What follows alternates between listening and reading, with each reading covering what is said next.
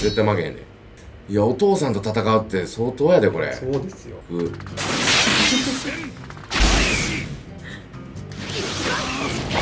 ああいやいやい。や行く行くあやばい。おおこいつ。ほらほらほらほらほらほらほらあ今の大会ジョネが使っているのがカラフリングの守りであと斎藤武者が使っているのがあの最終決戦の時に出てきたボルトですなのであの2人ともスペックが違うんですよなるほどはい。使える忍術とかも全く違くてあのーカラフリングの方は結構いろんな属性の術をですねもう使いまくって派手な感じなんですけれども私の、まあ、あのナルトの少年時代の武器を着ている坊主に関してけど、最終形で使ってちゃんとあの螺旋が打った。りとかもしますあ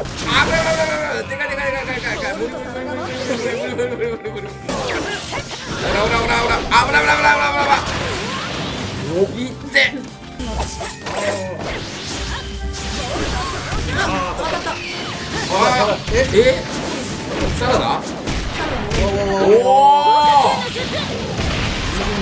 すごい偶然偶然。こんなところね。おれい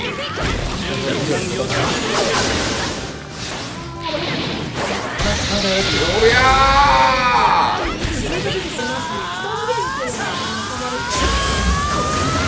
やばいやばいやばいやばい完成しよったこいつ。やばいやばいやばいやばいやばい動け動け危ないう。ええ覚醒したのにおわっしゃー。うわこんなところね。ーおおあ長っ伸びる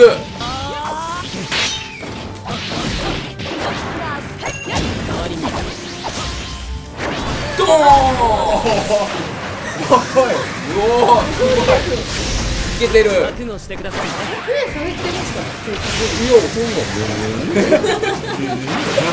さすがですごいな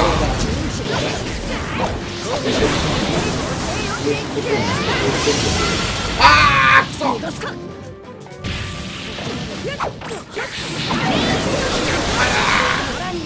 頑張れ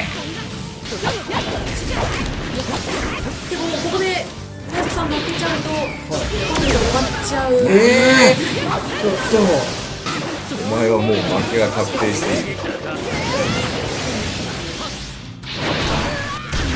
え奥義かー下田ちょっと待って終わっちゃうじゃないオンで倒すの大きいんですよ外して。抜いて。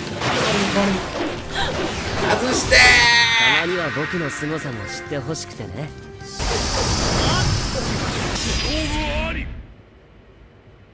いいとこだし。あったー。なるほど。あの負け方は僕にはできないな。俺に